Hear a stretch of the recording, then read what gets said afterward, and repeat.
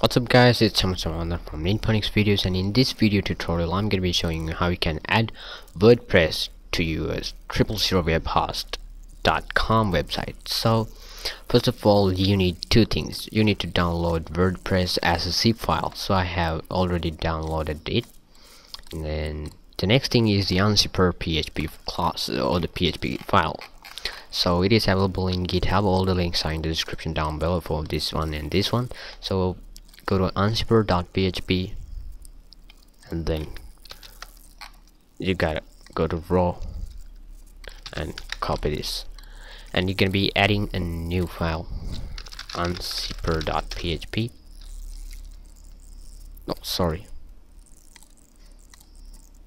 New file. Now it's correct.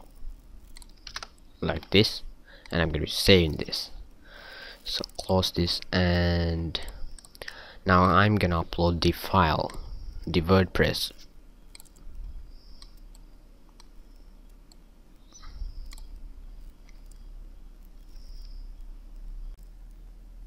Okay now the upload has been completed. Now I'm going to delete this index.html file.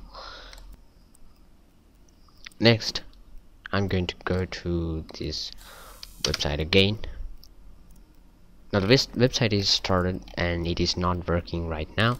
So you gotta go to unzipper.php file and then you have to extract it. So yes it is extracted right now successfully. Now let's refresh this.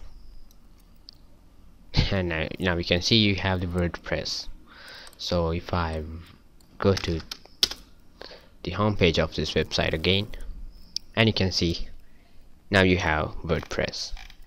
So thanks for watching guys. See you guys in the next video and don't forget to subscribe to this youtube channel and support us by liking and sharing our videos. See you guys in the next video